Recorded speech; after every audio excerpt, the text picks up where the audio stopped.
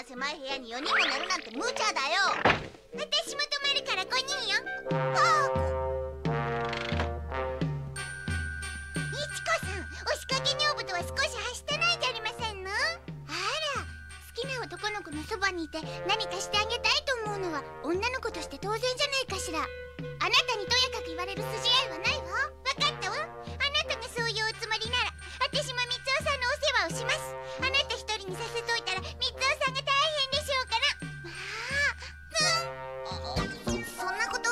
だったら私のサンドイッチ食べて。